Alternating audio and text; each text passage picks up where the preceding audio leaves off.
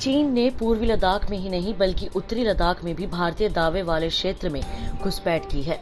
सेना की तरफ़ से हालाँकि इस बारे में कुछ नहीं कहा गया है, लेकिन मीडिया में आई उपग्रह की तस्वीरों से साफ़ दिखता है कि डेपसांग सेक्टर में चीनी सेना की उपस्थिति देखी गई है।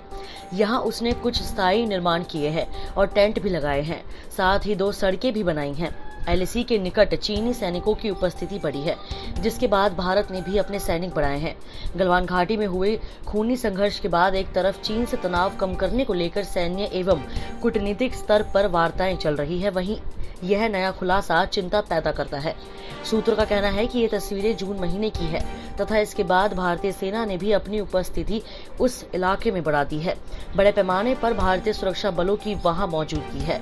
समझौते का उल्लंघन सूत्रों के अनुसार टेपसांग सेक्टर दौलत बेग ओल्डी से पूर्व की दिशा में है तथा लद्दाख का यह उत्तरी इलाका है। हालाँकि ये घटनाएँ 22 जून से पहले की हैं। बता दें कि 22 जून को लेफ्टिनेंट जनरल स्तर की वार्ता में पूर्वी लद्दाख में टकराव वाले स्थानों से तनाव कम करने पर सहमति हुई है, लेकिन यह टकराव का नया मोर्चा है। चीनी सैनिकों की उपस्थिति बढ़ रही सूत्रों का यह भी कहना है कि एलएसी के निकट चीनी सेना की उपस्थिति लगातार बढ़ रही है। हालाँकि वह चीनी क्षेत्र में ही मौजूद है। रक्षा विशेषज्ञों ने चिंता ज़ाहिर की है कि जब एक तरफ़ चीन शांति की बात कर रहा है तो दूसरी तरफ़ सेना की उपस्थिति क्यों बढ़ा रहा है? संक्रमित मरीजों की तलाश के लिए राज्य सरकारें अब दिल्ली की तर्ज पर टेस्ट दुगना करने की तैयारी कर रही है।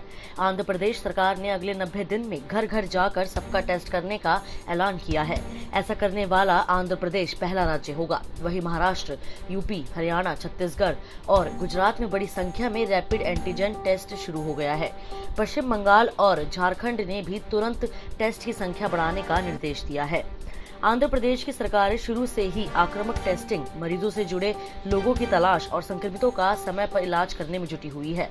गंभीर मामलों के लिए निजी अस्पतालों को कोविड अस्पताल बना दिया गया है और दूसरे अस्पतालों को हल्के लक्षण वाले मरीजों के लिए कोविड केयर सेंटर में तब्दील कर दिया है। कोरोना वायरस को मात देने के लिए दुनिया में करीब 120 वैक्सीन पर काम चल रहा है, लेकिन चार वैक्सीन ऐसी है जो लगभग आखिरी चरण में है। इनमें एक अमेरिका, दो ब्रिटेन और एक चीन में तैयार हो रही है। करोड़ों खुराक के लिए अमेरिका ने एस्ट्रोजेनिका से एक दशमलव दो अरब डॉलर का अनुबंध किया।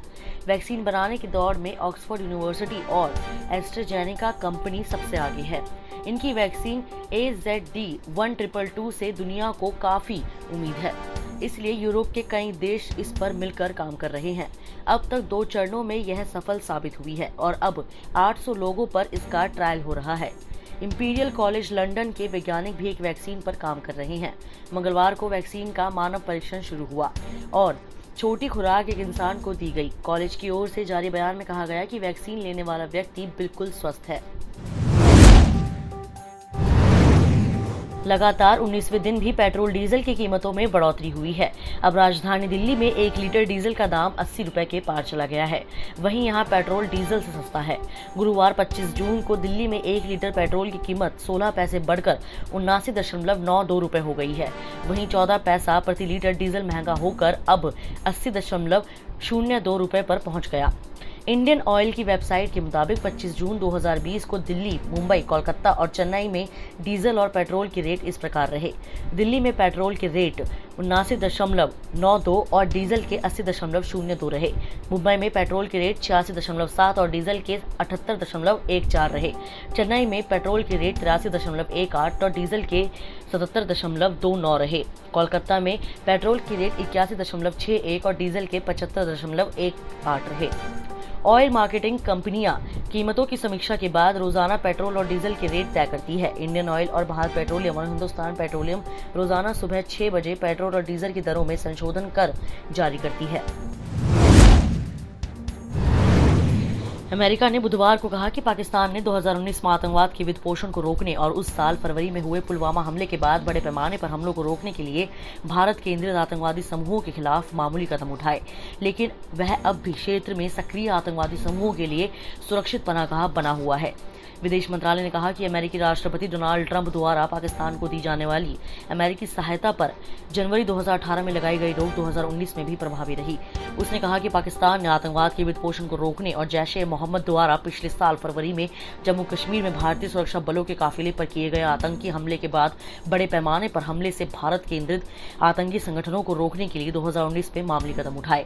आतंकवाद पर देश की संसदीय अधिकार प्राप्त समिति की वार्षिक रिपोर्ट 2019 में विदेश मंत्रालय ने कहा कि पाकिस्तान ने आतंकवाद के वित्त पोषण के तीन अलग मामलों में लश्कर ए तैयबा के संस्थापक हाफिज सैयद को दोषी ठहराने समेत कुछ बाहें केंद्रीय समूहों के खिलाफ कार्रवाई की।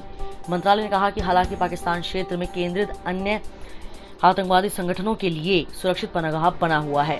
इस वीडियो में इतना ही। मैं कोमल, पंजाब केसरी, दिल्ली से। अगर आपको हमारी ये खबर जानकारी पूर्ण लगे तो हमारे Facebook page Punjab Kesari dot com को लाइक करें। और अगर आप हमारी ये वीडियो यूट्यूब पर देख रहे हैं तो हमारे channel Punjab Kesari dot com को सब्सक्राइब करना ना भूलें।